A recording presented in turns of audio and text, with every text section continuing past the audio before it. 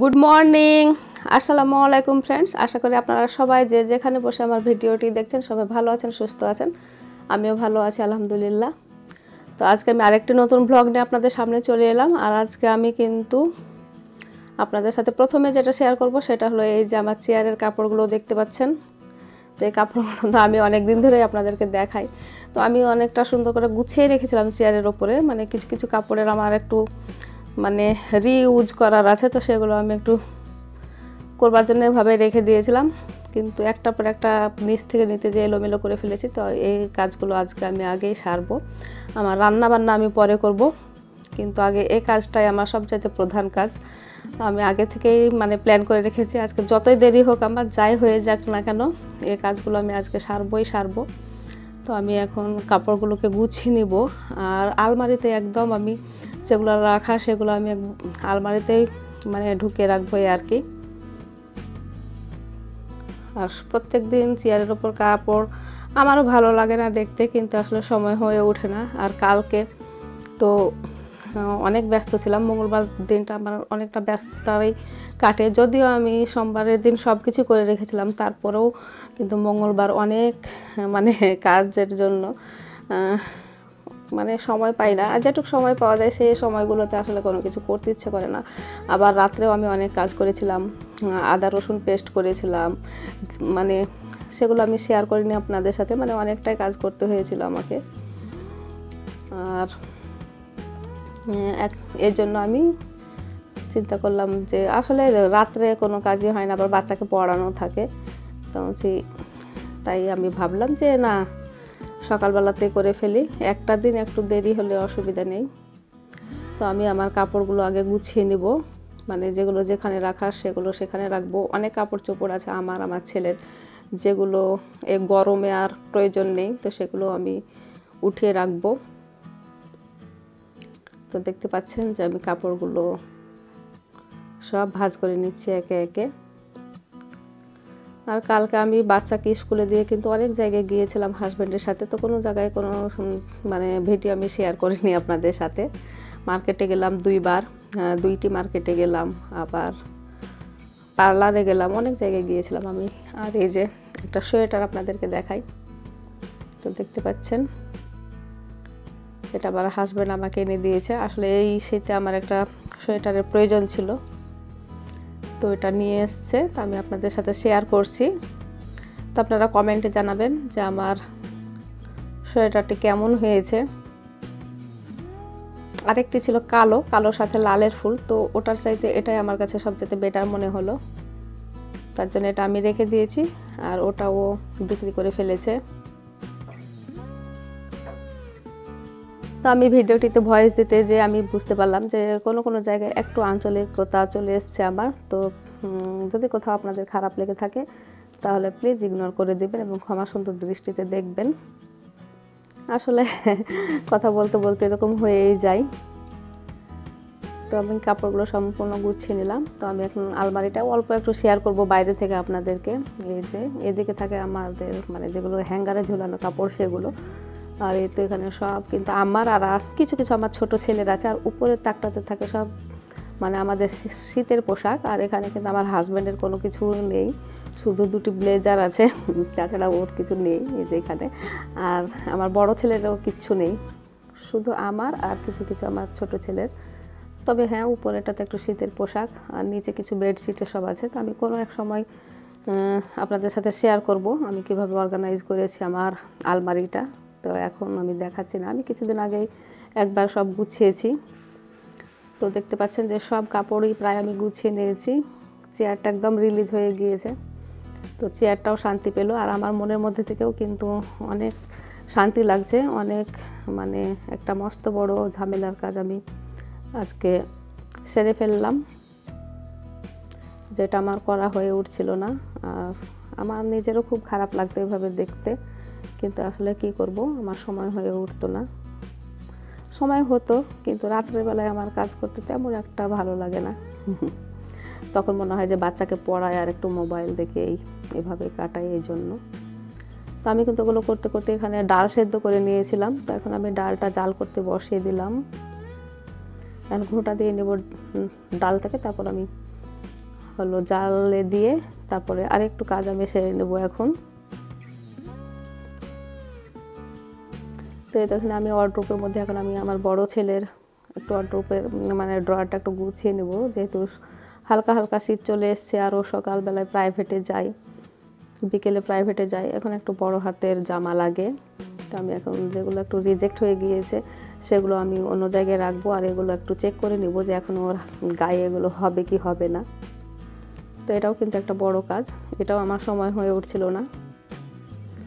আর ওর জিনিস ও কিন্তু খুঁজে পায় না। এটা খুব এক মানে আমার বড় ছেলে আসলে অত গোছ গাছের না। দেখা গেল যে ও একটা জিনিস খুঁজতে যে পুরো ওয়ার্ড্রোপটা এলোমেলো করে ফেলবে। তো আমি এখন ওটাকে একটু গুছিয়ে নিব মানে যেগুলো রিজেক্ট সেগুলো রিজেক্ট করে দেবো আর যেগুলো ওর গায়ে হবে সেগুলো রাখব। আর অনেক কাপড় চোপড় ওর বাইরে আছে, সেগুলো আমি একটু ঢুকিয়ে রাখলাম আর একটু অর্গানাইজ করে দিলাম যাতে ওর উঠাতে সুবিধা হয়। আর এগুলো আমি একটু ট্রায়াল দিয়ে নিয়ে আসব ওকে। ওর চলবে নাকি? তো ট্রায়াল দেওয়া শেষ। তো এই তো এগে যেগুলো কিন্তু ওর চলবে মানে এবার হবে। এগুলো কিন্তু গত বছরেরই কেনা দু একটা হয়তো তার আগের বছরের আছে। তো এগুলো আমি রেখে দিলাম আর এতে এগুলো রিজেক্ট হয়ে গেল। তো রিজেক্টগুলো আমি এখন নিচের ড্রয়ারে রেখে দেব। তো বাচ্চাদের গেঞ্জি রিজেক্ট গেঞ্জিগুলো মানে যেগুলো দেওয়ার মতো কাউকে সেগুলো দিয়ে ফেলি আর কি। যেগুলো না দেওয়ার মতো সেগুলো ঘর মুছার কাজে বা ফার্নিচার মুছার কাজে আমি ইউজ করি। তো ডালটাকে আমি এখন তেলে দিয়ে নেব, এটা হয়ে গিয়েছে। আর আমি আপনাদের সাথে আজকে একটা রেসিপি শেয়ার করব। তো সেই রেসিপিটা হচ্ছে দেখাই আপনাদের। এই যে এটাকে বলে গড় আলু। তো আমি আলুটা কিন্তু মানে ছিলার আগে আর দেখানো হয়নি। আপনারা কে চিনেন বলতে পারছি না। আর আমার ডালটা এই যে তেলে দেওয়া হয়ে গিয়েছে। তো গড় আলুটা কিন্তু আমি আগে টুকরো করে কেটে নিয়েছি। আর এটা কিন্তু হয় হয়তো সব জায়গায়, আমি জানি না, এটা মাটির নিচের একটা আলু। তো এভাবে আমি টুকরো করে কেটে নিয়েছি। আর এটা অনেক পিচ্ছিল হয়। এটাকে আমি কেটে সুন্দরভাবে ধুয়ে নিয়েছি। আর আমি কিন্তু সমান মাপে কাটতে পারিনি। অনেকটাই এলোমেল মানে এক একটা, এক এক সাইজের কাটা হয়েছে। তো যাই হোক, এটা আমি একটু ভাপ দিয়ে নেব। এটা অনেক পিচ্ছিল হয়। তো এভাবে যদি একটু ভাপ দিয়ে না, নিয়ে পানিটা ফেলে দেওয়া যায়, তাহলে পিচ্ছিল ভাবটা চলে যায়। আর ঠান্ডাও লাগে না, নয়তো এটা কিন্তু অনেক ঠান্ডা। যাদের ঠান্ডার প্রবলেম প্রবলেম আছে, তাদের কিন্তু এটা খাওয়া ঠিক না। তো আমার হাজব্যান্ড শখ করে নিয়ে এসছে ওর পছন্দ। তার জন্য আমি রান্না করছি। তো এটা একটু ভাপ দিয়ে নেব। আমি সিটি দেবো না জাস্ট ঢাকনাটা দিয়ে রাখলাম। আর এই যে কালকে সবজি নিয়ে এসেছিল। আর এটা কিন্তু আমি বৃহস্পতিবার মানে বুধবারের ব্লগটা শেয়ার করছি। তো মঙ্গলবারের দিন হলো আমাদের ওখানে হাট হয়, তো সেখান থেকে সবজিগুলো নিয়ে এসেছিল। তো সবজিগুলো আমার উঠানো হয়নি, তো আমি পরে উঠে রাখব। এদিকে আমি ভাতও বসিয়ে দিয়েছি। আর এখানে আমি কিন্তু করলা ভাজা করতে দিয়েছি। তা আমার সবচেয়ে পছন্দের হলো করলা ভাজা, কিন্তু আজকে করলা ভাজাটা কিন্তু খেতে ভালো লাগেনি। যেহেতু আমি খেয়ে ফেলেছি আগে, পরে ভয়েস দিচ্ছি এই জন্য বলছি, এত তিতো, যে কি বলব, আমার তেল, পেঁয়াজ সবই লস আর আজকে আমি একটু মাথায় মেহেদি করব, এই জন্য যেখানে আমলকের রস নিয়ে নিয়েছি। তো ফ্রিজ থেকে বের করেছি, এই জন্য একটু গরম জায়গায় রেখেছিলাম, যাতে ঠান্ডা ভাবটা কেটে যায়। তো আমি এখন এটা মাথায় দিয়ে দেন আমি গড় আলুটা রান্না করব। তো আমি এই যে হাত দেখে বুঝতে পারছেন যে মাথায় মেহেদি করা হয়ে গিয়েছে। আর এই তো কড়াই আমি তেল দিয়ে নিয়েছি। তো এই তেলের মধ্যে আমি যেভাবে পটল, আলু ভেজে যে মাছের তরকারি রান্না করি, তো সেভাবে আমি এটাকে একটু ভেজে নিব। তাহলে মোটামুটি যে পিছিল ভাবটা আছে সেটুকু আর থাকবে না। তো এটাকে আমি হালকা করে ভেজে নিলাম, আর আমি এখানে একটু জিরে ফোড়ন দিয়ে নিলাম তেলের মধ্যে। জিরে ফোড়নটা দিলে একটা সুন্দর ঘ্রাণ আসে। তো আজকাল আমি সব তরকারিতে একটু জিরে ফোড়ন দিতে পছন্দ করি, তাহলে ভালো লাগে। আর এর মধ্যে, এই তেলের মধ্যে আমি একটু শুকনো মরিচ গুঁড়ো দিয়ে নেব। তাহলে কিন্তু তরকারির কালারটা অনেক ভালো আসবে।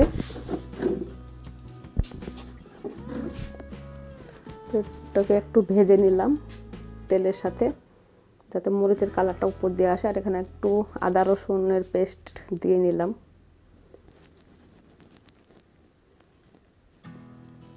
আর এখন বাকি মশলাগুলো দিয়ে নেব, হলুদ গুঁড়ো, ধনে গুঁড়ো, জিরে গুঁড়ো। লবণ দিয়ে এটাকে এখন আমি ভালোভাবে কষিয়ে নেব। একদম অন্যান্য তরকারি যেভাবে কষায় সেভাবে আমি কষিয়ে নেব। তো এই তো কষানো শেষ। তো এটাকে কিন্তু মানে হাফ সেদ্ধ হয়ে গিয়েছে। তো এটা যদি আমি পানি দিয়ে সেদ্ধ করতে যাই, তো অনেকটা টাইম লাগবে। এই জন্য আমি দুটো সিটি দিব প্রেশার কুকারে দিয়ে। তো প্রেশার কুকারে করলে জিনিসটা তাড়াতাড়ি হয়ে যাবে আর কি। তো এখন আমি কড়াইয়ে আবার ট্রান্সফার করে মাছ দিয়ে একবারে ফিরে আসছি। তো এই তো আমি পরিমাণ মতো পানি দিয়ে নিয়েছি। এখন দিয়ে নিলাম হলো কয়েকটি কাঁচা মরিচ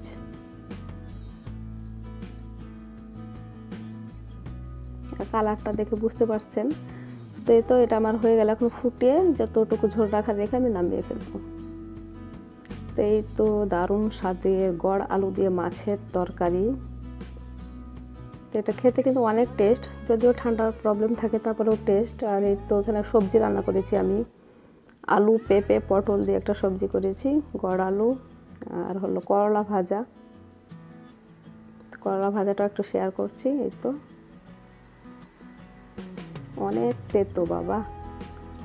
আর সকালে আমি আলুর চচ্চড়ি বানিয়েছিলাম রুটি দিয়ে খাবার জন্য, তো সেই আলুর চচ্চড়িটা আছে। এটা আমার ছেলের, দুই ছেলেরই অনেক ফেভারেট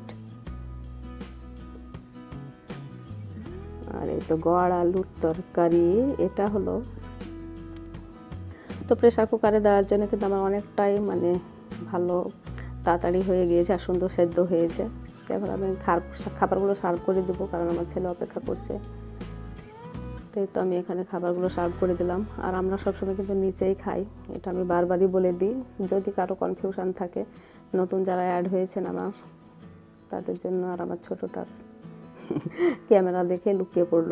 তো যাই হোক, আমি খাবার দিয়ে দিলাম, ওরা খেতে থাকবে। ছোটোটাকে আজকে আমি বলেছি একা হাতে খেতে জানি না খাবে কিনা।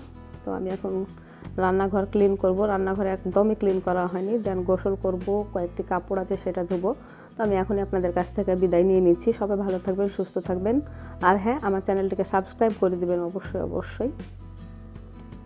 তো আল্লাহ হাফেজ।